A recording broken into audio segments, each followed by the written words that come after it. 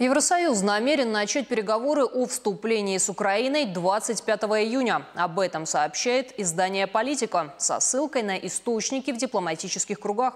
Сейчас, по данным издания, европейские и украинские дипломаты интенсивно работают над тем, чтобы убедить Венгрию дать согласие на начало переговоров.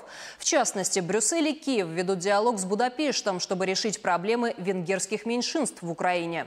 В апреле, после встречи главы Офиса украинского президента Андрея Ермакова, Ермака и министра иностранных дел Венгрии Петра Сиярта Киев заявил о позитивной динамике этого диалога. Политика подчеркивает, что Бельгия, которая сейчас председательствует в ЕС, уже назначила межправительственную конференцию с Украиной на 25 июня. Но, как всегда, невозможно предсказать, что сделает Венгрия, пока мы не получим известия от самого Орбана, заявил один из собеседников издания. Отмечу, 1 июля председательство в ЕС перейдет к Венгрии. Переговорные перспективы Украины и Молдовы обсудим с исполнительным директором Института стратегических инициатив Владиславом Кульминским. Владислав, добрый вечер. Добрый вечер. Рада вас видеть. Спасибо за включение. Итак, давайте начнем с того, что политика называет вероятную дату начала переговоров только для Украины. Но с учетом того, что до сих пор мы шли в связке, сохранится ли она и на этом этапе, на ваш взгляд? Полагаю, что да, эта связка сохранится, и, конечно же, очень много будет зависеть и от нашей дипломатии. Тот факт, что сегодня в Брюсселе, на, в эти дни в Брюсселе находится делегация правительства Республики Молдова во главе с премьер-министром на так называемом э, консилиуме по ассоциации, это тоже очень важно.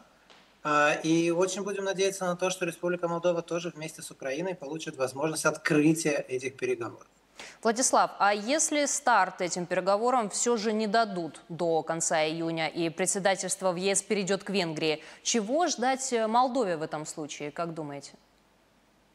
Ну, вы знаете, мне кажется, что Венгрии будет крайне сложно аргументировать, почему Молдове не откроют возможности начала переговоров э, с Европейским Союзом, потому что против Молдовы Венгрия, собственно, никогда и не возражала, по большому счету.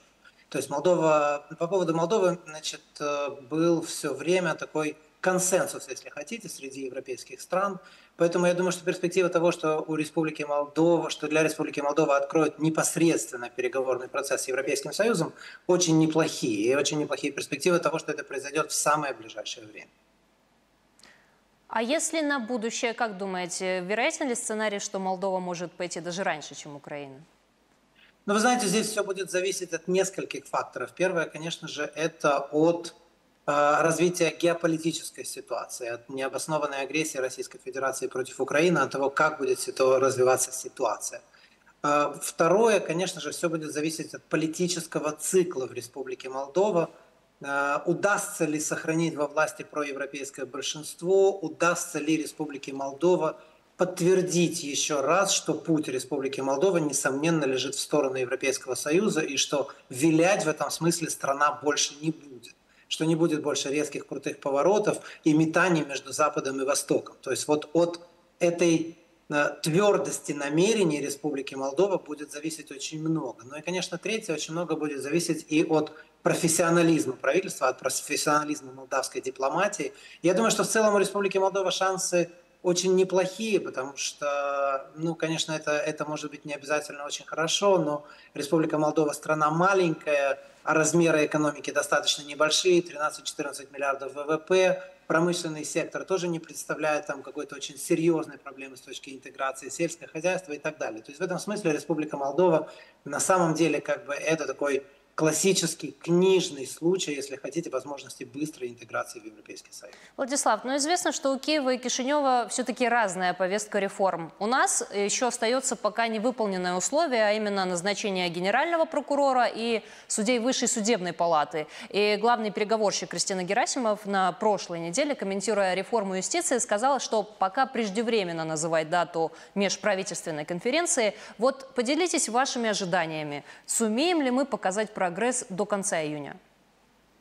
Э, я думаю, что вряд ли, потому что эти, эти процессы реформы судебной системы, они, как мы видим, э, усугубляются проблемы в них, то есть мы видим постоянные там ссоры, э, достаточно мелочные на самом деле, но тем не менее, потому что они закрывают собой более глобальную картину национальных интересов Республики Молдова. Но еще раз вам скажу, что возражений против интеграции Молдовы в Европейский Союз будет не так много. Потому что если вот эти вот институциональные проблемы, которые существуют в Республике Молдова, если их удастся преодолеть, то, собственно говоря, в дальнейшем процесс пойдет достаточно быстро, потому что этот процесс переговоров это на самом деле будет не, не столь невыполнимая или, или сложная задача. То есть, а что касается Украины, то там, конечно же, очень большое количество различных секторов, промышленность, сельское хозяйство, экономика в целом. Напомню, что это очень большая страна, и там, конечно же, переговоры будут намного сложнее, потому что интересы, которые придется отстаивать, а, они тоже достаточно обширны.